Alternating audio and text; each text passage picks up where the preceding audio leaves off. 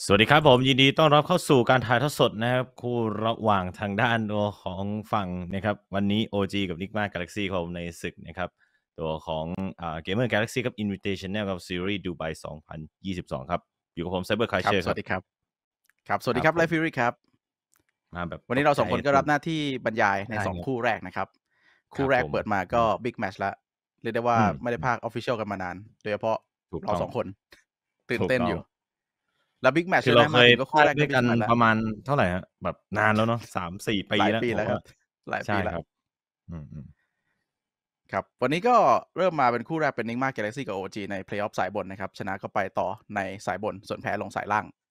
ส่วนครับทางด้านของคู่เนี้ยความบิ๊กแมชของมันคือ ผมไปดู history มาเนี่ยNigma ตั้งแต่ยังเป็น Nigma นะ ยังไม่เป็น Nigma Galaxy นะ ไม่ชนะ OG มาตั้งแต่เดือน5แล้วครับ ปีที่แล้วอืมเกือบหนึ่งปีละครั้งสุดท้ายที่ชนะ OG ตอนนั้นชนะ 2-0 ในเดือน5 Dream League season 15แล้วตอนนี้ก็นับเอา 11 เดือนหรือเปล่า เดี๋ยวก่อน 10 เดือนนะ10 เดือน วันนี้ก็ถือว่าฟอร์มดีขึ้นมาก ๆ นะครับสำหรับทางด้านของ Nigma Galaxy ฟอร์มระดับ Galaxy เลย ก็คือแบบจากเดิมที่ DPC ซีซั่นที่ผ่านมาในทัวร์หนึ่งเนี่ย ค่อนข้าง ผิดหวังแฟนๆนะครับ แต่ว่าทัวร์นาเมนต์นี้ครับเข้ามานะครับ แต่ว่าต้องบอกก่อนว่าทัวร์เนี้ยมันไม่ใช่ทัวร์แบบพิกกี้จัด100%นะเออต้องพูดให้เคลียร์ก่อนนะครับ ก็คือทางด้านของ Galaxy Racer กับ Nigma Galaxy เนี่ยเป็นบริษัทภายใต้เครือเดียวกัน แต่ว่าแยกกันจัดการคนละส่วนนะครับเดี๋ยวจะเข้าใจกันว่าเอ้ยที่เรียกๆกันว่าทัวร์พิกกี้นะพิกกี้จัด100%เหรอ ไม่ไม่ไม่อืมห้าสิบห้าสิบประมาณนั้น โอเคครับ ก็เดี๋ยวตอนนี้ก็ระหว่างรอแข่งนะครับ ก็ คุยกับพวกเราอืมสองคนไปก่อนสำหรับวันใช่ครับนี้นะครับสองทีมเนี้ยไม่ได้เจอกันมานาน แล้วด้วยความที่ว่าแพทชเนี้ยมันเป็นแพทชที่เกมไวขึ้น ส่วนตัวผมมองว่า 2 ทีมเนี้ยอืมมันจะไม่2-0ขนาดนั้น มันจะค่อนข้างตึงถึงอาจจะยื้อถึงเกม 3 ได้เลย ด้วยความที่สองสองทีมเนี่ยเป็นทีมที่ถนัดครับเกมบุกทั้งคู่เหมือนกันนะครับอืมครับผม ก็ผมคิดว่า แผ่นนี้คือฮีโร่เดิมๆก็ยังใช้กันอยู่นะ แล้วก็จะมีฮีโร่ใหม่ๆ บ้างนิดหน่อยนะครับผมนะครับคิดว่ายังไงดับมาแล้วครับตอนนี้อ๋อโอเคก็ครับเนี่ยครับ โดยเฉพาะ Invoker นะ เป็นแบบ first pick ของ A, A ทีม Nigma เลย คือ Nigma ใช้อืมมาตลอดนะครับ ไม่เปลี่ยนครับแปลงเลย เรียกได้ว่าเป็น 2 mid ตัวท็อปของ Miracle ที่สามารถทำ space ให้กับน้อง ILTW ได้ ก็จะมี Invoker กับ Puck แต่ว่าด้วยความที่ตอนเนี้ย Invoker สถิติใน รอบ group stage ที่ผ่านมาคือถือว่าดีมาก ๆ เลย ผมให้ว่า Invoker มันเป็น mid utility ครับ ใน patch เนี้ยคือมันสามารถครับที่จะเล่นสายไหนก็ได้ จะทำไอเทมเพื่อจะไปเล่น late game หรือว่าจะทำไอเทมมาชูตัว core ไปสุด ๆ ใน timing ช่วง 15-20 นาทีก็ได้นะครับครับโอเค ก็เป็น Best of 3นะครับสำหรับ Nigma Galaxy พบกับ OG ในแมตช์แรกของวันนี้ ซึ่งก็เริ่ม draft กันแล้ว แล้วก็เป็น OG ได้ First Draft ครับ ครับผม แล้วก็ตามที่เห็นนะฮะ ก็จะเป็นทางด้านของไทนี่มาแพ็กกับอิน o วเกอร์เห็นอยู่ 2 ครั้ง 2 คราผมสำหรับทางด้าน comp นี้ครับ ก็จะเป็นอิน o วเกอร์ไปทางทำเกมไทนี่ก็ฟาร์มอยู่ประมาณหนึงเข้าทำอีกมา 15 นาทีเอ่อ20 นาทีบวกมีชาร์จมีอะไรก่อนชาร์จโดลิบิตนะฮะ แล้วอิน o วเกอร์ถามว่าไทนี่แพทนี้จะเล่นยากตรงที่การขึ้นเฟสตัวของ Attack Speed นะครับนะครับเพราะดาเมจเขาพอตัวอยู่แล้ว แต่มันมี Invoker บัฟนะครับ ตัวของ a r c h i t y ให้ครับทำให้ไทนี่เข้า ทุกแขนนะครับผมนะตอนนี้นะครับ ถ้าถ้าทำแบบพันช์ไลน์ได้ดีนะ ในช่วงทามมิ่งนั้นโอ้โห นี่ผมกำลังจะพูดเลยว่ามีเปอร์เซ็นต์เป็นดักเสียสูงมาก เพราะว่าตอนเนี้ยคือ OG เขาปิดเฟสแรกด้วย Templar Assassin OG เขาเปิด First Pick เป็น Charman นะครับ ปกติแล้ว First Pick เนี่ยเขาจะแบบหยิบตัวโกงกันใช่ไหมแต่ OG อะเลือกที่จะปฏิเสธตัวโกงเหล่านั้น คือไม่เล่น Tiny แล้วก็ไม่เอา IO ด้วย ทั้งนั้นที่ตัวเองหยิบ IO ได้แต่เลือกแบน IO กับ Ember ไปเลย แล้วมาเป็น Charman กับ Templar ช่วงเนี้ยสังเกตว่า Charman จะมา มากกว่า Lion ถ้าเป็นแพทชก่อนหน้านี้คือแบบจะเป็น Lion ใช่ไหมครับ เอาไว้แบบสกัดไดฟ์แล้วก็จับตัวหนี แต่ตอนเนี้ยคือแบบเลนเฟสมันสำคัญมากขึ้น เกมมันไวขึ้นกว่าเดิมผมให้ประมาณ 5 นาทีเลย มันก็เลยกลายเป็น Shaman มันตอบโจทย์มากกว่า มันให้เลนที่ดีกับตัว core ได้ แล้วก็จบ lane phase มาปักเสางูเรียก Objective Tower กับ Roshan และคราวเนี้ยมันเป็น Templar บวกกับ Shaman ชัดเจนว่าทั้งสองทีมจะซัดกัน 15-20 นาทีอืมในเกมนี้นะครับผม อาจจะเป็นเทม p ราแบบเป็นแผนดับเบิลแครี่หรือเปล่า เป็นมิดเลนไหมครับ อันนี้ก็จะทำการเฟกในอนาคตอีกทีหนึ่งครับผม แล้วก็รอรอดูใน phase ต่อไป แล้วก็ที่แบรนด์ด a r k กเซลผมเห็น Amazing เนาะเมื่อวานติดรวบ5ไปครับ คือไม่ว่าครับทางด้านไทนี่อะไรก็ตามแต่นะครับด้วยเลือดของมันที่เยอะนะ ตามทามมิ่งแล้วก็กรอบ Five เพิ่ม seconds ตาม remaining ตัวของอันติเมตของมันนะครับทำให้เทมพลาเนี่ยแทงค่อนข้างใช้เวลานานอยู่เหมือนกันนะครับผมก็เลยแบบทำให้ดาร์กเซียเนี่ยรวบหมู่ได้ครับดา ร์กเซียก็เป็นช้อยที่ครับที่ต้องแบนออกไปครับเมื่อวานนี้ก็ติดตาตรึงใจไปแล้วครับ ครับผมว่านิกมาเนี่ยดูเหมือนโหดนะ แต่จริงๆ แล้วเหมือนเขาสแปมแผนมากๆเลย อย่างเปิดมา Invoker ไทนี่นี่คือแบบใช่เลยเล่นมาก่อนหน้าครับรัวๆนะครับอืมแล้วก็ตัวของ10 MC seconds มาคอนโทรล remaining เมื่อวานนี้ที่เล่นครับดาร์กเซียเนี่ยผมให้ว่าเกินคาดสำหรับผมมาก เพราะว่า Five ดราฟเมื่อวานนี้ seconds ตอนที่ remaining นิกมาเจอทันดราเนี่ยเขาดราฟแบบไม่สนใจเลนเลยดราฟมาอืมเอ้ยโดนเอนชานเคาน์เตอร์เลนนะแต่ว่าด้วยความว่าตัวอืมเก่ง นะครับ แล้วก็คราวนี้ปิด first first phase มาเป็นเทมปาเนี่ย ข้อดีของการปิดอืม first phase ตรงนี้คือมันสามารถที่จะไล่แบนตัวเคาน์เตอร์ของเทมปาทั้งหมดได้ แล้วครับเขาก็เห็นตัวอย่างมาแล้วว่าเมื่อวานเนี้ยมันโดน Dark Seer กับ Tiny นะ เอาแบบ Ion Shell มาอืมถูจนเกาะแตกเนี่ยดังนั้นเนี่ยก็ต้องแบนทิ้งทั้งหมดเลย ตัวที่มันสามารถเคาน์เตอร์เทมปลาได้ Dark เทมปลามันโยกได้นะ Team ก็อยู่ที่ว่าจะเป็น carry หรือ mid ในเกมนี้ เพราะว่ามันเจอ Invoker Quas Wex ผมว่าเล่นเลนกลางได้ครับ ครับผม นะฮะ ตอนนี้ก็มีตัด Batrider ครับ มีสิทธิ์แบบ จะไปทางเทือกๆ Timbersaw อะไรนี่หรือเปล่าครับ เพราะ Timbersaw ก็เฉือน Tinyค่อนข้างหนักอยู่เหมือนกันนะ แต่ว่าโอ้ Timbersaw โดนแบนมาขออภัยฮะ10 Uh, seconds remaining. ตัวของ off lane ตัวอื่นก็จะเป็นพวก Five มา seconds อะไรนี้หรือเปล่าฮะ remaining หรือว่าจะเป็นสายอื่นเลยที่แบบจับล็อกครับเคาน์เตอร์หนักๆเลยเป็นตัวดีทั้ง2ทีมเลยนะครับ เพราะ ATF เล่นเด่นแล้วก็ MC ก็เล่นเด่นเหมือนกัน MC นี่ก็เล่นอืมอยู่ไม่กี่ตัวเหมือนกันอย่าง OG เนี่ยแบน3ตัวใน phase ที่ 2 นี่คือ เจาะ MC โดยเฉพาะเลยก็คือแบบตัวเก่งของเขา Dark s e a Beast Master Bad Rider ซึ่งทีมอื่นเนี่ยเขาไม่เล่น Batrider Off Lane กันละแต่นิกมายังเล่นอยู่ เพราะเป็นตัวเก่งครับผม MC นะครับคลาสสิก Off Lane Dire อยู่ team อดีต pick. ครับแล้วเป็นตัว Counter Templar ส่วนทางด้านนิกมา Galaxy ก็แบน OG's เอา Viper Necro turn แล้ว to อันเดอร์ยิง pick. ไป Ten. ว้าวมาแล้วตัวเก่งพิกกี้พิกกี้เทปเชนนะครับเชนนี่คือ 15 นาทีแบบพอแบบได้ฉาดมานี้จริง ๆ มันก็ประมาณ 18แหละถ้าเกมไม่ได้รวยมากฮะ ก็จะเข้าแพ็คครัแล้บวก็ผมทำเกมได้หนักอยู่ครับถือว่าแบบเชนนี่ทำดาเมจได้สูงมากครับ ผมไปดูเกม10เมื่อค่ำคืนที่ผ่านมา seconds ครับที่ Puppey เล่นทางด้านตัวของ Chen เนาะโอ้ damage สูงมากนะครับมันมีเกมหนึ่ง Five แพ้แล้วก็เกมหนึ่ง seconds ชนะนะ remaining. ครับเยี่ยมผมเลย ผมสัมผัสได้ว่าเกมนี้พี่แบงค์น่าจะเหนื่อยครับ ครับเพราะห้าห้าตัวมานี่คือแบบซัดยับแน่อืมๆสภาพตอนนี้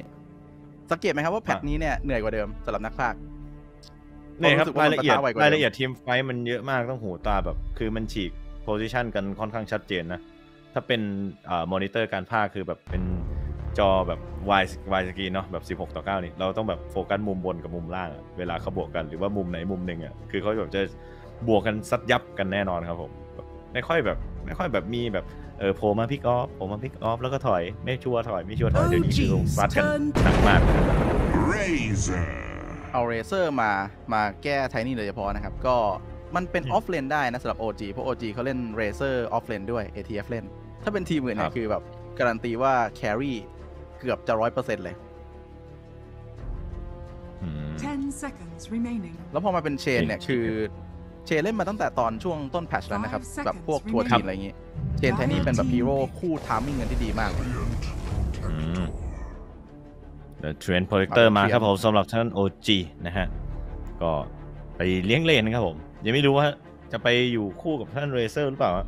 ที่จะจัดหนักดีๆผมแอบคิดว่าครับเป็นผมเป็น Treant sup ห้านะครับ แล้วก็เป็น10 Shaman sup seconds สี่ remaining. ที่ผมคิดแต่ว่าเขาก็สลับกันนะเพราะวันนี้ Chu เล่นได้อยู่เหมือนกัน อุ้ย Clockwerk มาแล้วฮะ Clockwerk ของนี่มัน GH เล่น ใช่ครับ นี่มันเล่นตัวเด่นทั้งทีมเลยนี่หว่าแบบจับตัวเก่งมา อืม คือหลังอืมจบสิบไม่ถึงจบสิบนาทีด้วยซ้ำไปครับสอง sup นี่มันเป็นสอง sup ที่เล่นได้ไวมาก แล้วภาพเมื่อวานนี้ก็น่าจะคุ้นๆกันตอนที่เจอ Thunder คือแบบอินวอ k เกอร์ Five Tornado set ให้ seconds แล้ว remaining Clockwerk ก็เดินเข้ามาแล้วก็จับเข้าขังคุกอืมนี่คือแล้วพยายามเมื่อวานนี้มันมีความ Force Staff ครับอะไรเต็มที่กันแล้วนะ แต่ก็คือโดนแบบจับแล้วก็คือไม่ได้ขยับนะ Chen CC กันแบบเดือดๆเลยแล้วก็ burst damage มาได้แรงมากครับ นี่คือ OG โดนบังคับซื้อ Force Staff ด้วยนะครับเกมนี้ เพราะว่าเจอ Clockwerk ใช่มา แล้วก็ เมื่อวานนี้ถ้าได้ดูเนี่ยสิ่งที่ผมให้ความแตกต่างของ Tiny IRTW ที่ไม่เล่นเมื่อวานเนี่ยก็คือ Dire team timing ไอเทมเพราะทีมอื่นเนี่ยเขาจะเล่น Echo กับ Shadow Blade กัน แต่ว่าอ่า Tiny เมื่อวานเนี่ยมันแปลกกว่ามันเป็น Echo และ Blink เลย เกมก็จะไวมากกว่าเดิมอีก ครับ ตอนนี้ตัด Venom ออกไปฮะทางด้านของฝั่ง OG ครับก็เผาเกราะ10 Templar เหมือนเดิมนะ seconds remaining. โฟกัสที่ตัวเผาเกราะเ Templar มาก คือตอนนี้เรียกได้ว่า Mind Control นี่คือปัญหาหลักของ OG นะครับ แบนทั้งหมด 4 ตัวแล้ว เหลือเป็นอืม offlane ของ MC เท่านั้น จะมีอะไรแบบเซอร์ไพรส์มาเล่น Jakiro offlane มาระเบิดเทม p ลาไปเลย เพราะว่าตอนนี้คือเงื่อนไขของการเล่นพวก offlane อย่างครับ Jakiro Death Prophet อะไรพวกนี้ครับ มันต้องมี frontline ยืนข้างหน้าให้ ซึ่งมันเป็น Clockwerk แล้วDeath Prophet ผมให้ว่าเป็น choice choice หนึ่งที่ดีเลยนะสำหรับ Death Prophet offlane เกมนี้ อ่าแบน Jakiro ทันที แบนไวมากครับผมตัวละลายเกราะครับก็มองอ่านขาดไปครับ ส่วนทางด้านโดของฝั่ง Nigma เมื่อกี้ก็กดนะครับผมกังก้าวไปแล้วก็โดนสวนนะครับ Jakiro อย่างรวดเร็วครับอืมครับ offlane เหลืออะไรบ้างครับตอนนี้เพราะว่าข้อเสียของ draft Tiny คือ Tiny เขามี damage เป็นชุด combo ถ้าสามารถประคองผ่านไปได้เนี่ยเขาก็จะเคว้งไปเลยใน fight สักพักหนึ่ง ฉะนั้นโจทย์ของอืม OG เนี่ยมันก็จะมีอยู่2อย่างคือ จะเลือกอะไรระหว่าง ปิด Tiny ให้ไวกับ พยายามยื้อให้ผ่านหนึ่ง combo ของเขาอืมซึ่งน่าจะซึ่งน่าจะเป็นจังหวะที่ต้องตัดของ offlane ตัวที่ต้องเลือกมาโอ้ยอันนี้แบน Puck ออกไปครับผมเดี๋ยวเขามองว่า Razor เป็น offlane ครับใช่ครับเพราะ ATF เล่นบ่อยสุดครับแล้วก็แบน Puck อืมของ bzm bzm เล่น Puck บ่อย แต่ส่วนตัวผมรู้สึกว่าไม่ค่อยดี เมื่อเทียบกับตัวอื่นของเขา10 seconds อือฮึ remaining. แล้วก็ตอนเนี้ offlane ที่ที่ยังเป็น choice ก็คือผมยังเชียร์ Death Prophet อยู่ เพราะว่า patch นี้คือแบบครับด้วยความที่มันซื้อ Shard ได้ไว แล้วถ้ามันยืนไหวเนี่ย มันได้ Shard มาปุ๊บ มันเอาดูดเลือดติด fear มาไอ้อืมดูดเลือดนะครับ มันค่อนข้างจะเบิร์นเกราะเทม p ลาได้ไวมากด้วย ครับผม Dire team pick. เป็น Mars กับ ATF ครับผมโอ้สุดท้ายเป็น standard pick นะครับ เปิดมาในเกมแรกเหลือเป็นก็เลือกตัวมั่นใจกันก่อนนะ คิดว่าอย่างนั้นนะครับ ครับเหลือเป็น Razor นะ เอาจริงๆเหมือนกับว่าเขาตัดตัว MC ด้วยครับ เพราะว่ามาเนี่ย ถ้าเป็นแบบบ้านๆเลยไม่รู้จะแบนอะไรก็คือแบนมา MC แล้วคราวนี้ว่าจะแบบ5 seconds remaining. อยู่ที่ว่า matchup จบมาแล้วที่ไทยเหรอฮะจบมาที่ไทยแล้วส่วนนะครับตัวมาตรฐานโอ้โอ้โอ้โอ้ดีโอ้ดีฮะอืมใช้ได้ฮะแต่แพทชนี้เล่นยากกว่าเดิมเยอะเลยนะครับ ด้วยความที่ แฮมเมอร์มันโดนเนิร์ฟไป มันเลยการทำให้คอมโบแฮมเมอร์เนี่ยดาเมจอืมดรอปลงไปมันโถมยากขึ้น แล้วก็ตัวการเคลียร์คีปของ OD เนี่ยมันก็ดรอปลงไปด้วย ครับ แต่มันจะอยากจะตบเลนโดยเฉพาะเลยครับเท่าที่ผมต้องคิดรอตอนดูนี้นะครับคือผม Razorน่าจะเป็น carry นะครับ เพราะว่าถ้าอืมเป็น Razor กลางเนี่ย มีตัวอย่างจาก LGD มาเยอะมาก เป็นทีมที่ชอบเล่น Razor กลางไม่เหมือนทีมอื่น แต่ว่า Razor กลางเนี่ยพอมันจบเลนมามันทำอะไรไม่ได้อื มมันต้องไปฟาร์มให้ได้ BKB ก่อน ซึ่งมันก็จะเป็นภาระของทางด้าน offlane นี่แหละ ที่จะต้องทำเกม ซึ่งถ้า offlane ไม่เกิดอีก มันก็จะน่าจะพังจัดจัดๆเลยฮะ แต่ LGD ครับผมเห็นว่าหลังๆมานี่เขาก็เล่นแบบเกมที่ผ่าน phase ไปค่อนข้างเยอะนะเขาแบบไม่ได้บู๊ทะลุนะฮะในในแบบหลาย ๆ ครั้งที่ผ่านมา คือเขาแบบต้องบอกว่า patch อะนี้โอเคอืม LGD ยังตัวยังไม่มาครับจะยังไม่ยังไม่โชมาว์อะไรใช่ไหมคือก่อนหน้าเนี่ยเขาจะเล่นแบบประมาณว่า แพ้ เลนหรือไม่ก็โดนฝั่งนั้นเงินนำแต่ว่าเขาแบบฟาร์มป่าฟื้นไวมากอะไรอย่างเงี้ยตัว LGD นะใช่ครับ ชอบชอบทำ content comeback แต่ว่าตอนนี้ยังไม่มีอะไรโชว์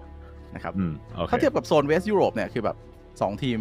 นิกมากับ OG นี่คือแบบแสดงแสดงความเป็นเวสยุโรปอย่างดีมาก เพราะว่าเล่นเล่นบุก 10 15 นาที โดยเฉพาะอย่างนิกมาเกมเนี้ย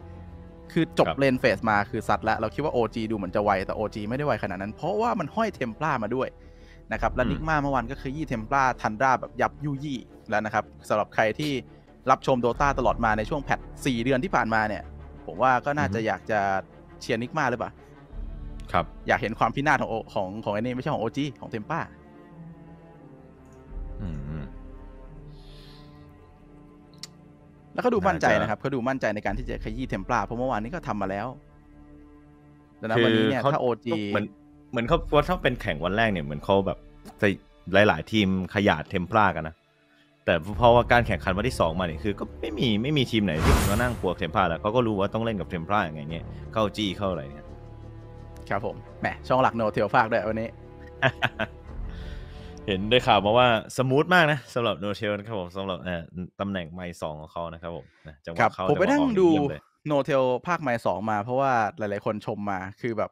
ถ้าถามว่าอืมโอเค สาระเยอะไหมอะไรอย่างนี้ไม่ไม่ขนาดนั้น ต้องบอกว่าอืมจังหวะแทรกแล้วก็มีความแบบเขาเรียกนะ potential view chat เนี่ย สุดยอดมากอืมคือ เรียกได้ว่าแค่เกมเกมเดียวก็แทบจะหา view chat ทำได้หลายหลายจุดแล้วครับอืมถถือว่าเป็นนั่นแหละครับส่วนเสริมที่ดีนะสำหรับทางด้านโดเทอร์อะนะครับผมก็เป็นเกมแรกครับ ในศึกทางด้านโดของ Dota 2ครับ Invitational ครับซีรีส์ดูไบ2022 ครับ จัดขึ้นแข่งโดยทางด้าน Galaxy Racer ครับนะฮะ ก็เป็นบริษัทครับผม e-sport ครับจากของ UAE ดูไบครับผมนะฮะนะครับแล้วก็เป็น Powerhouse Bands ครับของของเรา Influencer ครับหลายท่านด้วยนะครับผมนะฮะก็แน่นอนว่านี่ครับเพิ่งมาเปิดตัวในทางด้านโดของประเทศไทยในปีนี้นะครับผมฝากติดตามกันได้ผมที่ Fans Page ครับผม Facebook Fanpage Galaxy Racer TH นั่นเองนะครับนะฮะครับผมก็อยู่กับเกมแรกนะครับใน Best of 3นะครับ OG อยู่ Radiant แล้วก็ Nigma Galaxy อยู่ The Die นะครับ ครับผม โอเคครับ ถ้าได้ดูก็จะเป็น Razer Carry นะครับ แล้วก็ Templar Mid Lane ก็เรียกได้ว่าจัดเลนกันมาตามปกติ แต่ปัญหาเลยคือ 3 ตัวนี้มันเป็นเหมือน3 Semi Carry ที่มันต้องใช้ทรัพยากร โอเค ตัวของ Mars อาจจะไม่ใช้อะไรมากนอกจาก Blink แต่ว่า Razer ต้องมี BKB เพื่อยืนอืมชนไฟท์แล้วก็ Templar เองก็ต้องฟาร์ม มันก็เลยดู OG เนี่ยยังติด ความเป็น patch ที่แล้วอยู่นิดนึงเหมือนกันนะ พอหยิบเทม p ลามาปุ๊บเนี่ยมันเข้าโหมดแบบ patch ที่แล้วเลยครับถ้า Nigma เขาสามารถเดินเกมได้เหมือนเมื่อวานเนี่ยคือแบบสตาร์ทมาปุ๊บเนี่ยสินาทีแรกเขาก็วิ่งละ Bottom ดีมที่ is เทม p ลาจะโด busy. นพังพื้นที่ฟาร์มจนเล่นไม่ได้ ผมสังเกตว่าเกมที่ Templar แพ้เมื่อวานเนี่ยนะครับที่ Nigma กระทำไปเนี่ยก็คือ จะเป็น timing ฮะที่ดึงอัด Templar แบบหนักกว่าจะได้ทางด้านโดของฝั่งDragon Lance นี่นานมากครับผม และกว่าจะขึ้นตัวเอ่อ BKB อีกนานเข้าไปอีกเนี่ยก็เลยทำให้แบบเลนค่อนข้างระเบิดครับผมไม่ใช่เลนด้วยในป่าด้วยระเบิดยับเลยแล้วก็คุมสามเหลี่ยมคุมสามเหลี่ยมไป จนฝั่งตรงข้ามเนี่ยต้องมาฟาร์มฝั่งตรงข้ามซึ่งมันก็เป็นอะไรที่เดินไกลแล้วก็โดน map control กึ่งกึ่ง map control ด้วยซ้ำ Can't escape Not on. your Come on. sins. เกมเนี้คือหยิบเทม p ลามามันก็เหมาะกับฝั่ง Radiant ดีนะครับ เพราะว่ามันทำให้เอา Roshan ได้ง่าย แต่ปัญหาเลยคือ30 seconds มันมี to Razor battle. ฟาร์มด้วย แล้ว Razor เนี่ยมันฟาร์มจะได้ง่ายกว่า Radiant เพราะมัน Plasma Field เก็บฟีตรงแคมป์ข้างบนได้ป่าใหญ่ Thank พอ God มันเป็นมาอยู่ Radiant น่ะก็หมายความว่ามีแค่สามเหลี่ยมที่ปลอดภัย There is nothing that can stop this man. กด Razor มาก็ต้องชนะเลนด้วย ดังนั้นเนี่ยถ้าแบบกด Razor มาแล้วคุม OD ไม่ได้ OD ได้ Hammer ไวก็จะกลายเป็นระเบิดกันเป็นผุยผงเลยคราวนี้ มีแค่อืมน่าจะดีสุดคือเลนบนครับ ด้วยความที่ Tiny มันแบบไม่ได้เอาเลนอะไรมาก Battle แค่ตี begins creep ฟาร์ม แต่มันจะมีจุดเปลี่ยนอยู่คือcreep Chen เพราะว่าผมอือฮึดูตั้งแต่ตอนที่ทัวร์จีนเล่นในวันแรกๆเขาพยายามจะแก้ Tiny กัน เช่นเอาแบบ Necrophos มาเล่นเพื่อชนะเลน อย่างซึ่งวันนี้ในรับก็มีแบน Necrophos เพื่อเซฟ Tiny แต่ จุดเปลี่ยนเลยคือตัวขี้เสือกประจำเลนครับผมก็คือ support นั่นเอง มันไม่ใช่ matchup หนึ่งหนึ่งอะถ้าเป็นมาเจอ Tiny อย่างเงี้ยมามันแบบกดดัน Tiny trade ได้ดีกว่าอยู่แล้ว แต่พอมี Chen เข้ามา อ่าแน่ครับอืมแล้ว Chen KuroKy ซื้อ Blight Stone มาด้วย อือหือเหมือนปั๊ปปี้ก็คือเมื่อวานนะ Matty Mars ปั๊ปปี้คือใช่คือถ้าเข้ามาเลยตรงหน้าป้อมน่ะเกือบเกือบๆแต่หน้าป้อมน่ะคือมีตายได้นะครับคือแบบอย่างเมื่อวานเนี้ยปั๊ปปี้ใส่ไบรท์สโตนมาก็ ใช้ตัวของสกิลแรกเพนเชนหนืดไปแล้วก็ยิงยิงอย่างเดียวยิงจนตายเลยนะครับผมทางด้านโดเพราะถ้าจะไปรอจับออฟเลนก็เบิร์คีดปเลยเนี่ยมันครับถ้าไปรอจับคีปมันต้องรอนาทีหนึ่งนะครับก็เลยแบบเอาเพนแคสมาแล้วมันเล่นได้เลยดีกว่าmatchup กลางก็เป็นเทม p ลาเจออินวอ k เกอร์นะครับ แต่ว่าวอ l เกอร์คอสเ c กมันแบบไม่ได้ทำอะไรเทม p ลาอยู่แล้วเทม p ลามันก็แบบครับฟาร์มตามสบายไปปกติ คราวนี้มันจะไปวัดกันตอนออกนอกเลนเพราะว่าเทม p ลามันได้แค่ฟาร์ม แต่วอ l เกออืร์มมันคือตัวเดินเกม แล้วถ้าไม่เดินเกมแล้วเดินเกมไม่ work ก็คือจะกลายเป็นอินวอ k เกอร์เจ๊งแทนก็เห็นมาหลายต่อหลายแมตช์นะครับ Voker Quas Wex นะฮะเวลาเดินเดินหนักๆมากครับ ก็จะมีหนึ่งก็คือเอ่อไม่ได้รวยมากแต่ว่าทำ space ให้ทางด้านของ carry ฟาร์มสองก็คือนะครับ เดินฟรี ไปตายฟรีเงี้ยนั่นคือเจ๊งเจ๊งแน่นอน รอภาพเลยครับ Invoker เนี่ยของกระเตื้องไม่ทัน แล้วก็เข้า timing ไม่ได้อืม แล้วจัดเลนมาโหดด้วยนะครับสำหรับเลนล่างของ OG มันเป็นเทียนกับ Razor มันเป็นคู่ชนะเลน ตัวหนึ่งคือมีความสามารถฆ่าในช่วงเวลสองเวลสามอีกตัวหนึ่งคือมีความสามารถ slow set ในเลนได้ช่วงเลเวลหนึ่งเลเวลสองคือเก่งมาก matchup เลนล่างถ้าที่ผมดูเนี่ยเขาเขาตัด creep ครับเขาพยายามจะไม่เล่นเจอ Razor เพราะเล่นเจอ Razor เนี่ยเนี่ย Plasma Field ดู damage ละก็ถึงยังไงก็แล้วแต่ครับ ถึงแม้ว่าจะหุบได้ครับ ก็โดน Chen ไว้ก็ตบ 1-2ครั้งอยู่ดีซึ่ง damage generate มาเกือบ 200 ครับ เลเวลหนึ่งเลเวลสองนี่คือแบบช่วงเก่งสุดของเทียร์แล้วครับ ถ้าถ้าเป็นไปตามที่ OG draft มาเนี่ย Razor กับเทียนคู่เนี่ยต้องฆ่าไม่ได้ในช่วงเลเวลสองเลเวลสามเนี่ยโอ้อืมนิดหนึ่งเปิด stat มาด้วยนะครับ Yuragi เปิด Wraith Band มาด้วยอืมช่วงนี้ตัว item starter นี่คือแบบ double stat ใน 25 นาทีนี่ก็ฮิตในบางตัวนะครับนะที่ใช้ได้นะครับ แต่ส่วนใหญ่ผมคิดว่าใน pro scene ก็ยังไม่ได้อ่าแบบทิ้งอะไรไว้เยอะขนาดนั้นเนาะส่วนใหญ่จะเป็นทางด้านโดpublic มากกว่า public play ที่แบบจะใส่พวก stat อัดเยอะๆอย่างเงี้ยอ๋อจริงๆจริงๆเริ่มมาเลยครับ แต่เป็นเทรนด์ทางด้าน support ซะมากกว่า เพราะว่า support อ่ามัมันจะแบบได้ double bonus แล้วมันซื้อแบบเหมันก็ว่าซื้อมาตอนต้นแล้วไปอืมทำเกมได้ พอไป late game มันก็แบบได้ประโยชน์ไปด้วย จะเป็นพวก sup สี่ sup ห้าส่วนใหญ่จะทิ้งไว้ประมาณ 1-2 ชิ้นนะใช่ไหมครับที่ผมเห็น คร่าวๆบางบางก็มีสำหรับ สามครับสามถึงสี่ก็มีฮะโอ้ แบบสี่ Bracer สาม Wraith Band เพราะว่า sup สี่บางตัวมันแบบอืม ออกของ utility ได้อย่าง Clockwerk ก็ทำไม่นี่ได้อยู่ทำออคิดได้อีกก็ได้ประโยชน์จาก patch นี้ไปอ่าฮะผมเห็นบางบางครั้งก็แอบเชียร์นะ ให้มันขึ้นแบบ4นูอะไรเงี้ยอย่างเช่นเหมือน Yapzor Secret เมื่อวานเนี้ยก็จะแบบ Skywrath Mage ครับจะเล่นนะ แต่ว่าก็แบบไม่ไหว ไม่ไหวต้องไป Aghanim ก่อนแล้ว แต่ Aghanim ก็ไม่ไหวอีกก็แพ้ครับ เป็นเมื่อวานเป็นทางด้าน Hoodwink ที่เป็น carry ด้วยนะครับก็เลยค่อนข้างแบบหนักนิดนึงนะฮะถ้าหลุดก็คือหลุดเลย โอเคครับเท่าที่ดูตอนนี้ score creep เนี่ยเลนล่างมีปัญหาอืม ชัดเจนมากๆเลยคือแบบเจอ 2 ตัวชนะเลนเข้าไปแล้ว OD เนี่ยอาการออกแน่ๆคือ Hammer มาช้าสำหรับเกมนี้ อือฮึ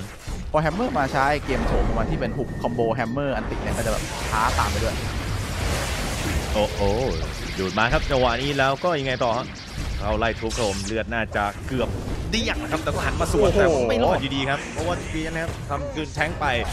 กะว่า GH จะเข้าแล้วตอนนี้ครับ Power Cog เปิดไว้ครับไล่ยังไงต่อตีใส่ด้วย Kuroky ครับ Battery Assault แต่ Razor ยังฟาดแรงครับผมมีครับปั๊บจาก Static Link เองแล้วก็ถอยกลับมาฮะ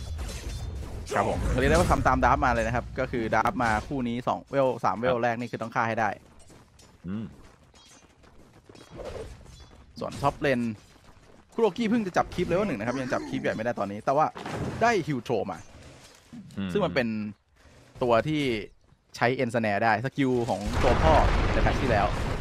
ครับผมเจอพ่อก็เหลือจะเสกกระดูกครับแต่ก็เสกรัวหน่อยประมาณนั้นครับ แต่ผมว่าว่ากดดัน ATF ข้างบนไม่ได้เหมือนกันครับ สภาพณตอนนี้ เพราะว่าตัว ATF เขาน่าจะซื้อ Brightstone ไม่ใช่ Brightstone นี่ใช้ตัว Pring Protection มาอ๋อดุ คือจะใช่บอกว่าเมื่อกี้จะพูคลิป แต่ว่าครับ creep ป่ามัน ensnare พอดีอืมเลยดึงไม่ถึง เป็นนี่แหละครับหลายอย่างครับที่ support จะยุ่งเหยิงนิดนึงครับไอตัวเอ็น n แนครับผมแล้ว creep ป่าตอนนี้ดุมากผมจ่ายทุก skill ครับเท่าที่จ่ายได้ครับโอโอด้านล่างครับ โดนตลอดครับ ครึ่งหลอดนะเป็นยังต่ำนะฮะ การเข้าไปครับ ต้องจ่ายครับ มีราคาที่ต้องจ่ายกับ MC ครับผม ปัญหาสุดๆ ตอนนี้เลยคือเลนล่างเนี่ยมันแก้ไม่ได้ครับพอมันแก้ไม่ได้ปุ๊บเนี่ยตัว Clockwerk ไม่ใช่ sup ที่ทำให้เลนมันดีด้วย แล้วจะไปโรมมิ่งกลางเนี่ย มันก็สุ่มเสี่ยงเขาไม่รู้ว่าจะได้หรือไม่ได้อืมฉะนั้นเนี่ยถ้าเล่นแบบ passive ไปเรื่อยๆเนี่ย OG จะสบายเลย ในขณะที่ Nigma เริ่มอาการออกแล้วสามตัวนี้กำลังอยู่ในความเสี่ยง OD Clockwerk แล้วก็ Invoker ครับ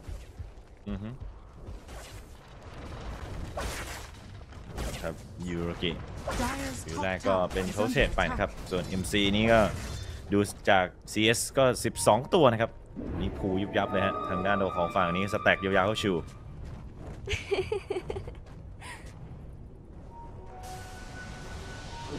stack Ancient ไป Templar นะครับ ซึ่งโอ้โหมันฟาร์ม stack ได้ไม่มีปัญหาอยู่แล้วแผ่นนี้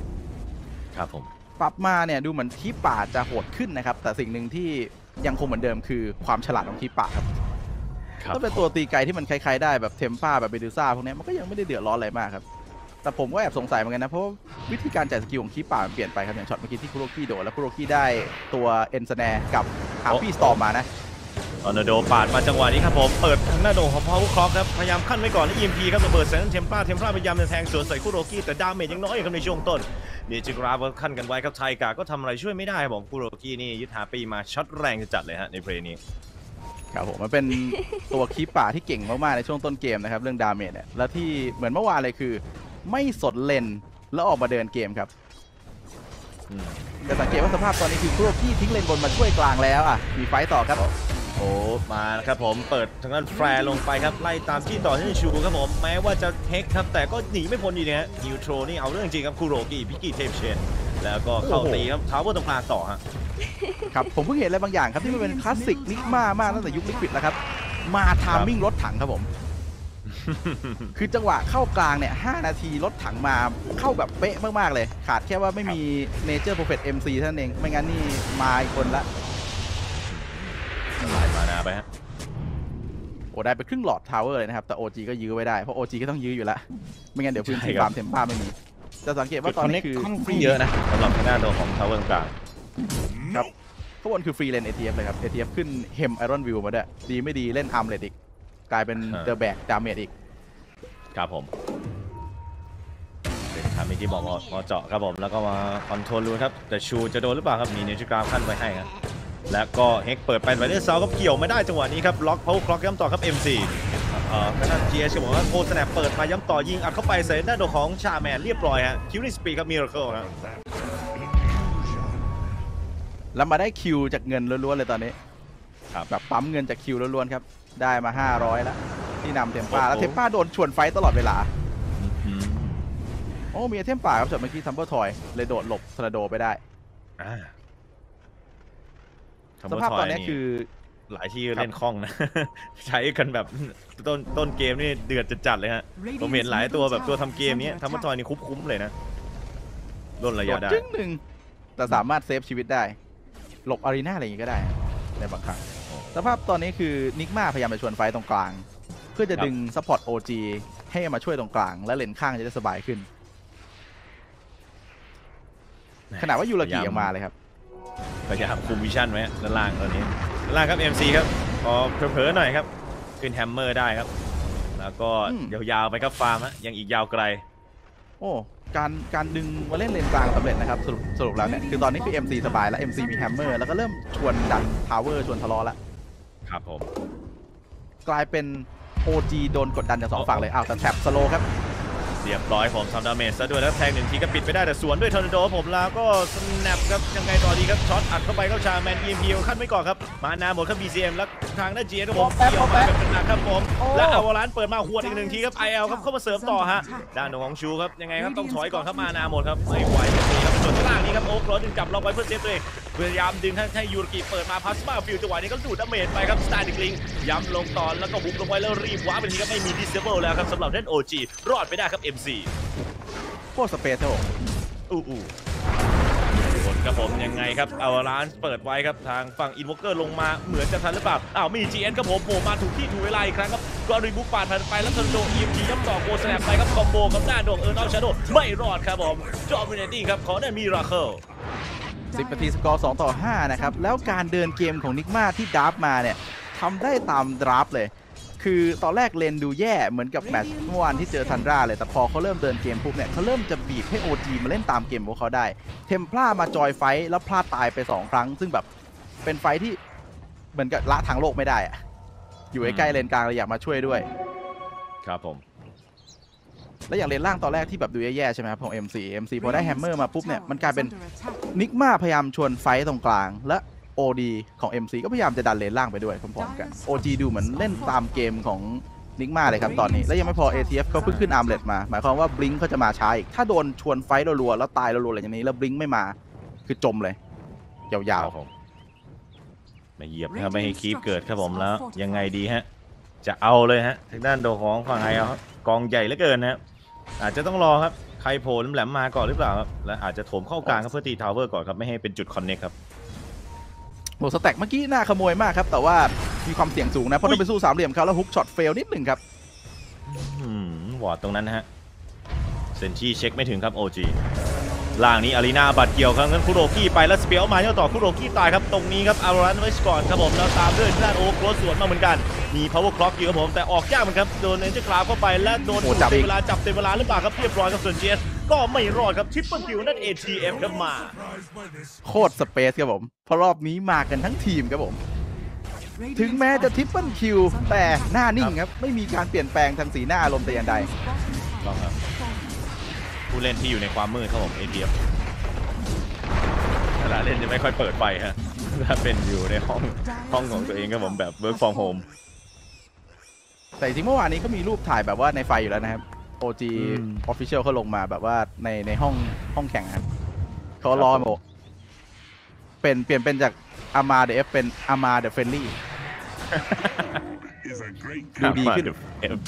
แกครับผม แบบดูน่ารักขึ้นเลยพอไม่อยู่ในครับ ห้องมืดเนี่ย ครับ แล้วก็เปิดมาครับผมจับล็อก power clock ไว้ครับ EMP คอมโบต่อครับ ทางด้านนี้ครับ กระตุกตัวไปไหนเซาครับ ไม่ได้ขยับครับเอเแต่ยังมีลิฟต์อัมเมอร์ช่วยหรือเปล่าอินวอเกอร์ครับทอร์นาโดปาดมาจังหวะนี้เก็บไปได้ครับมิราเคิลฮะ โดน 2 เลนเลยนะครับเมื่อกี้เพราะว่าเมื่อกี้นี่ MC ก็แบบไฟข้างล่างด้วยเหมือนกันแต่ว่ากลับมาละ TP กลับกลับไปที่ป้อมครัละบผมอุ้ยกองนี้เดินไปก่อนนิกคมารับพยายามจะคุมสามเหลี่ยมไม่ได้นะครับ เหมือนเกมเมื่อวานเลยฮะที่เขาคุมสามเหลี่ยมครับไซนิกชับครับลงมาแต่ยากต่ออีกทีครับ เปิด power cog ไปแทงรั้วทะลุแทงรั้วทะลุครับผมหลอกแล้วฮะทางด้านโดของ Invoker ครับผมยังไงดีถอยได้หรือเปล่า detection เพึ่งวางลงครับผมต้องเคลียร์วอร์ดไว้ก่อนนะ และก็นี่ครับช่วยทางด้านโดของ KuroKy ไว้ได้ครับ Miracleปัญหาเลยคือ Nigma เนี่ยมีพลาดไป 2 จุดแล้วเขาพยายามจะ control สามเหลี่ยมนี้แต่ว่าสุดท้าย BZM เขาก็เคลียร์ stack นี้จนได้ แล้วก็ tower lane กลางเนี่ย ที่มา fight เมื่อกี้แล้วแบบโดน OG ทั้งทีมมา defend นะครับ ก็ถือว่า fail ไป ถึงแม้จะแลก safe lane tower lane ล่างมาได้นะของ MC อะแต่ว่ามันทำให้เห็นว่า speed ในการโถมเนี่ยมันเริ่มโดนชะลอ แล้ว Templar มันเคลียร์ stack ไปเนี่ยมันได้เงิน boost มาประมาณเกือบพันเลยเอาละฮะตอนนี้กลายเป็นตอนนี้ทางฝั่งเข้ OG ไม่ได้ care MC เลยครับน่าสนใจอะขึ้นใส่เลยหรอฮะได้ชู เฮ้ยเอ้อมาด้านหลังแล้วครับแล้วจับมา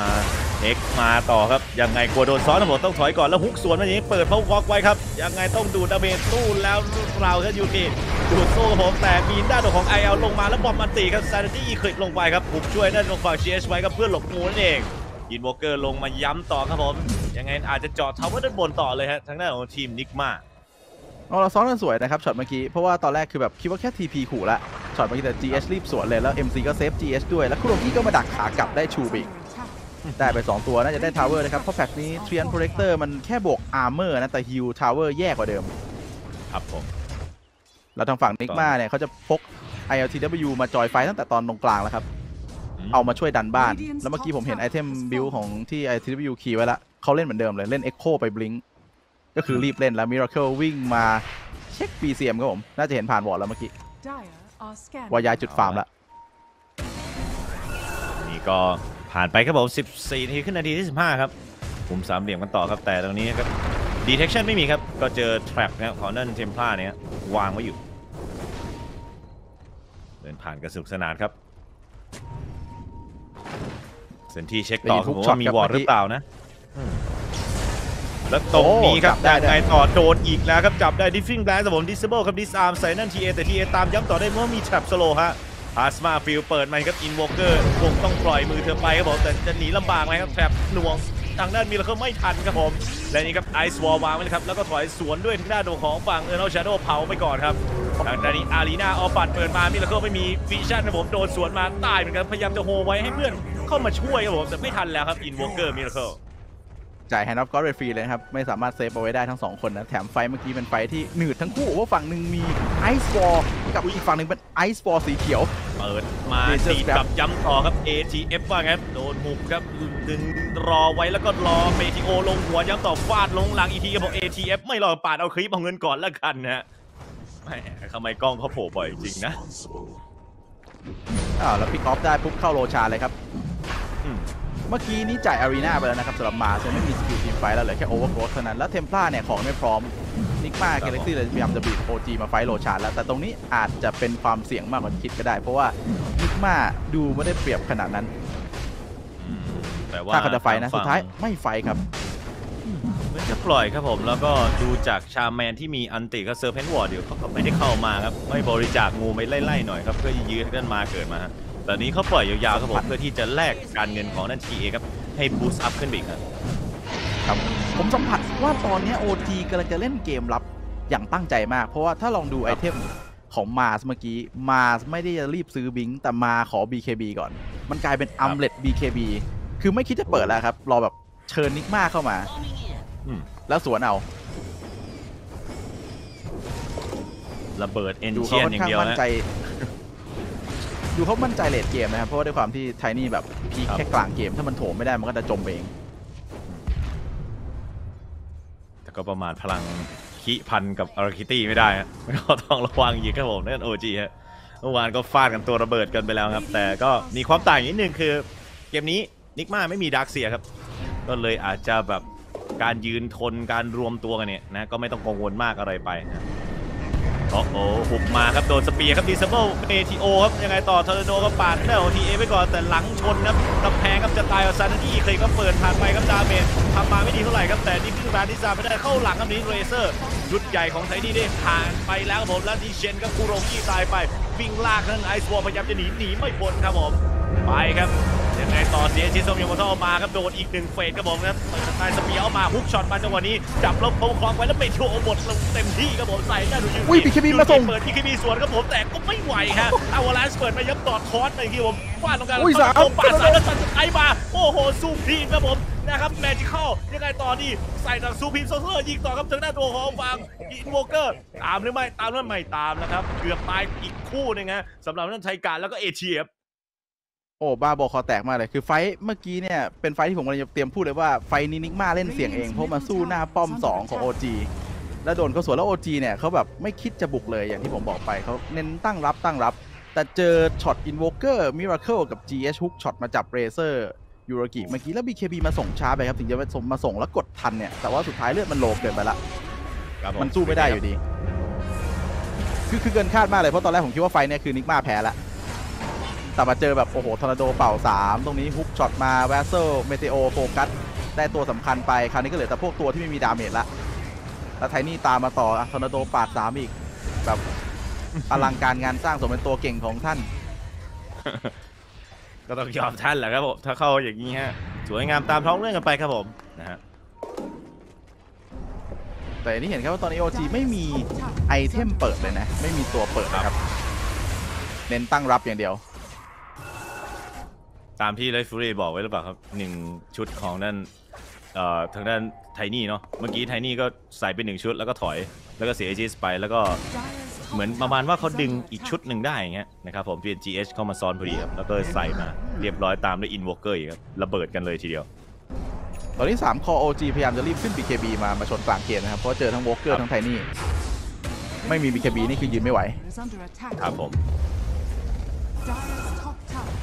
โอ้แล้วตอนแรกคือ Razor ที่ชนะเลนมา แต่เพราะ Razor ปัญหาเลยคือมันต้องฟาร์มให้ได้ BKB ก่อน แล้วโดน Nigma เขา fight รัวๆจนสุดท้ายแล้วเนี่ย Razor คือแบบแทบไม่ได้ฟาร์มเลยเงินเท่า OD ออฟเลนแล้วตอนนี้ fortified. นะฮะมาครับด้านล่างต่อครับฟาดลงไปฝั่งนั้นเอเชียครับก็พุชเชนบนครับเห็นไทนี่โผล่ล่างครับและคราวนี้จะพีคก็คือยูรกิต้องรอ refresher กับทาเลนเลเวล20 ตัวเองซึ่งอีกนานเลยครับ ดูนิกมาน่าจะได้ คุมจนถึงโรชานตัวถัดไปแล้วก็ชวนไฟต์ต่อเพราะเดี๋ยวเขาจะไปบุกทาวเวอร์เลนล่างกันต่อแล้วเชนก็มีฉาดแล้ว มากับไทนี่ฉาดด้วยก็คือแบบยิ่งทำให้ทามิ่งนี้เก่งกว่าเดิมแต่เอ็นเช่นคีปมาโอ้จับต้นไม้ไม่มีลิมิตแบบฟรีฟูรี่อืมยึดเอาโพสครับผม แต่เมื่อกี้สโมกมาเผื่อเกี่ยวๆทางด้านซัพพอร์ตได้บอกที่ทำมิชชั่นอยู่ไม่เจอใครครับ ส่วนทางด้านนิกมาครับสโมกสวนมาดอกนี้ครับ ไปเจอทางด้านโดของฝั่งนี่ครับยูรกิอยู่แล้วก็เปิด BKB ฟรีไปแล้วครับผมสไซด์ครับยังไงต่อดี เอาแล้วครับหาเหลี่ยมในการฮุกช็อตเลยครับ ขอแค่มีเหลี่ยมไปโดนโอ้โดนคัดสอองอกไม่ดีนะผมก็โดนชาแมนครับยังไงต่อดีเปิดโซเพนบอร์ดใส่เจนต้องบริจาคร่างกายแต่ทางด้านโดของฝั่งเลเซอร์ก็ไม่รอดครับยูรกิโดนซานเนตี้เคยไปพร้อมเมดิโอ Dire's middle tower is under attack. จ่ายไปเยอะนะครับอันและนี้ครับ ATF ไม่มี item เปิดด้วยครับ ฉะนั้นทำได้แค่เดินเข้าไป ไม่สามารถสวน teamfight ได้และช็อตนี้เป็นช็อตที่ Nigma นิ่งกว่าเยอะ แล้วล่อยูรกิ BKB ไม่ได้ช็อตเมื่อกี้ BKB ของ Yuragi ถือว่ายังไม่ดีครับลั่นไวมาก พอลั่นไวปุ๊บคือเป็นไปตามที่ Nigma ต้องการ Nigma ใจเย็นรอสวนตอนนี้ใกล้ BKB หมดแล้ว hookshot 2สวยๆ แล้วก็เหมือนเดิม Razor ยืนไม่ได้ท่าทางจะลำบากแล้วครับ เพราะว่าอย่างที่คุยกันไว้ว่า OG กำลังจะเล่นรับ อยากจะยืนสู้กับ combo Nigmaเป็นการแต่ยืนรับไม่ไหว เป็นการรับที่ต้องโดนตีบ้านโดนตี tower ด้วยนะฮะ ซึ่งเป็นเรื่องที่หนักอยู่เหมือนกันครับสำหรับท่าน OG ครับ แต่ตอนนี้สถานการณ์การเงินที่ผมก็นำอยู่ 2K ครับ ทางด้านของนิกมา a ก a ล็กซี่ครับผม แต่ก็เป็นทางด้าน Templar นั่นแหละครับ ที่แบกฮะ net worth ไว้อยู่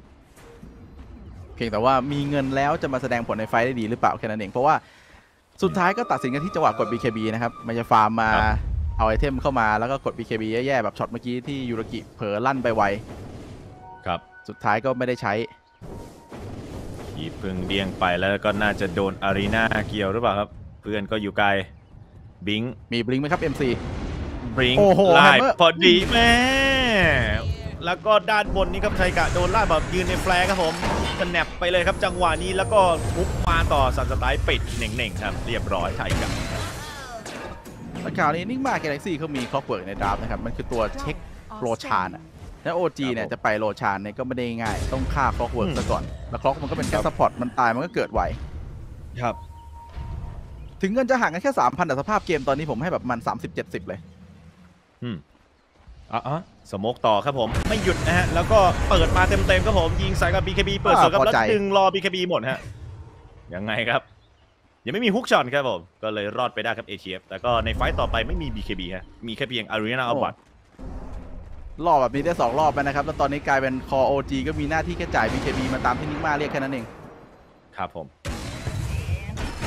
เปิดไปแล้วฮุกโอ้โหมาก่อนเต็มหลังครับเปิดผมว่าคล็อกไม่ทันผมโดนเฮกสวนมายับต่อแต่เอาลานเปิดมารวบสองกับผมยังไงดีครับเรเซอร์นี่ดูดาเมจแบบเต็มปอดนะครับจังหวะนี้ครับโอ๊คโดนจับเอาไว้แล้วก็ออฮิวเปิดไปต่อหุบช่วยด้านมิลเคอร์ไว้ก่อนครับแต่คุโรกี้นั่นจะละลายครับแต่ด้านโดงไอเอลยังอยู่ครับไล่ฟาดไล่ฟรีกันไปวันนี้ก็เป็นทีโอครับผมแล้วก็ทอร์นาโดป่าดสองไปก่อนหน้าดิฟฟิงแบงค์ผมโอ้ก็โหเต็ยัมงหลัสงวยทางด้านโดของฝั่งเรเซอร์ยิงก้อนสุดท้ายมาทีม MC ครับทริปเปิลคิล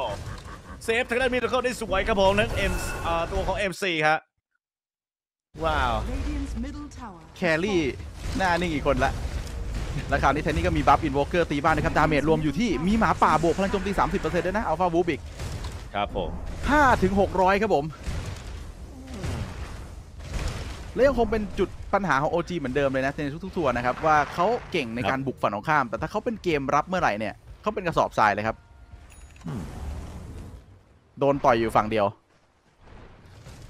เอาละฮะ ก็เป็น phase ที่ Roshan กำลังจะเกิดด้วยนะครับสำหรับทางด้านตัวของอ่า Roshan ตัวต่อไปครับ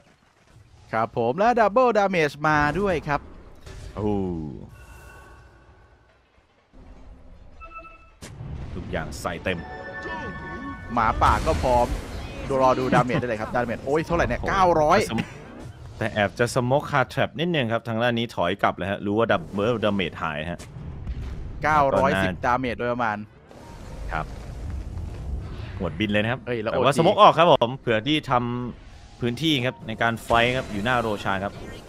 ทุกอย่างพร้อมกันหมดลองดูสักตั้งครับทางด้าน OG ครับไม่เสียหายหรืออาจจะได้แต่ว่พิกออฟเมื่ใครสักคนรู้ข้อมูล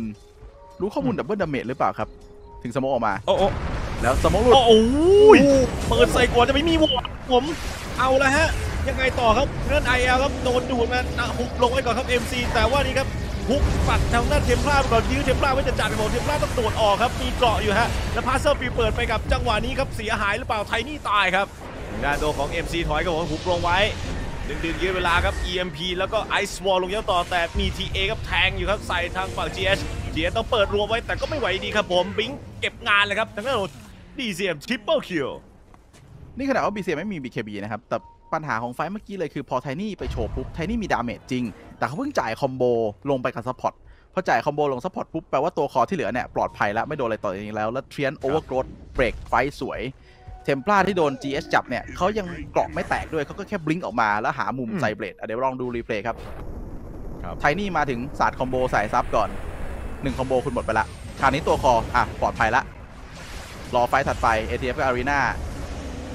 จับได้หมดอีก จับหมดอีกเสร็จเกียนแทงกาโผล่เข้ามา Overgrowth break fight ทะลุ BKB แล้ว BZM ก็ blink ออกมาหามุม psi bladeเลยระเบิดเลยยอมรับก็ต้องยอมรับว่าหนักหน่วงฮะในจังหวะนี้ครับทางด้านเดียวของนิกมากาซี่ครับโมจีอันนี้ครับผมทำมาดีเปรียบตลอดนะครับอิ่มเลยกลายเป็นทำมาดีตลอดแต่ระเบิดไฟนี้แต่ยังดี โชคยังเข้าโรชานข้าง เพราะว่าโรชานยังไม่มา ครับผม เพราะเมื่อกี้ไงั้ถ้าโรแล้วชานมาอาจจะแล้วแย่เนี่ยกว่าเดิม จบเลยครับ เกมโถมนิกมาครับผม Dogs are scanning. แบบแต่นี้ต้อก็งระวัเก่งงนะกคระรับไรแล้วเพว่าราะฮะ OG ในการเซตทีมไฟท์เวลาแบบเข้าทำของนิกมากาซี่ครับถ้าจะเข้าไปเปิดก่อนแบบชุดเมื่อกี้ก็ น่าจะโดนอีกรอบครับเขาน่าจะแพ็กกันแบบเต็มที่ฮะโอจีครับก่อนหน้าเนี้เขาพยายามจะโฟกัสเทมพลาในทุกๆไฟท์นะครับถ้าลองสังเกตดูคือแบบอย่าง GH เอาเทมพลาเอาเรเซอร์ แต่คราวเนี้ยพอแบบปล่อยให้2ตัวเนี้ยมันฟรีเป็นเรื่องเลย มันจ่ายคอมโบไปกับตัวที่แบบไม่ได้สำคัญในทีมไฟท์ดาเมจฝั่งตรงข้ามมาเลยพอ พอที่มาสู้ได้ ครับ เอาละฝั่งทางด้านโดของทีม OG ก็สมกลุยกันบ้างครับตอนนี้ ในทุกๆทามมิ่งแต่เอาแท็บติเรื่พร้ออมงด้วยของนะครับเทมพลานี่ก็น่าจะ เป็นปัญหาใหญ่เหมือนกันนะในจุดสำคัญที่เดินผ่านผม เพราะว่ามันไม่ใช่ทามมิ่งที่ได้เปรียบที่ต้องมานั่งใช้gem ไล่เตะ trap ทิ้งไปฮะของ Nigma ครับผมคไออยเทมเคลียร์ใหญ่เพิ่งมานะ Refresher Razor นะครับ ครับ อุ้ยแต่ต้องดู Razor โอเค level 18 แล้วด้วย ulti level 3พอดี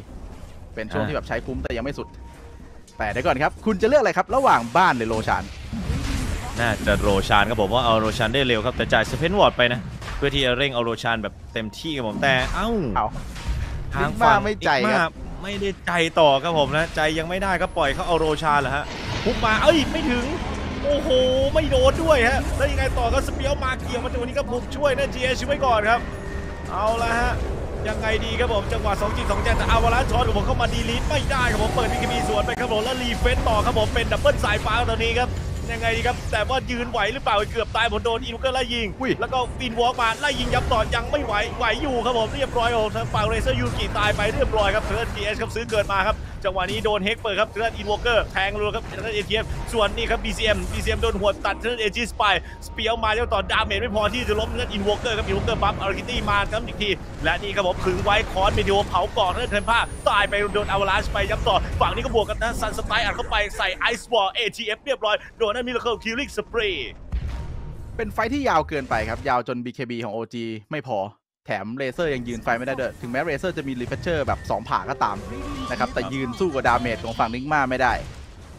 Razor ที่ยืนไม่ไหวก็ไม่สามารถละลายฝั่งตรงข้ามได้ครับ ตอนแรกผมนึกว่า Nigma จะแบบใจเด็ดแลก barracks ไปเลยเพราะ Tiny มันตีไว แต่สุดท้ายก็กลับไป fight ใช่ดีตรงที่ fight ลากยาวนะครับ ก็เลยเข้าทาง Nigma เพราะว่าจบคอมโบไปแล้ว BKB ผ่านไปแล้ว ก็ยัง fight ไม่จบอยู่ดีสำหรับฝั่ง OG ตัว damage มันยืนไม่ได้ครับ ครับผม Razor โดน Miracle ไล่ ส่วนทางด้านของเทม p ลา BCM ก็โดน OD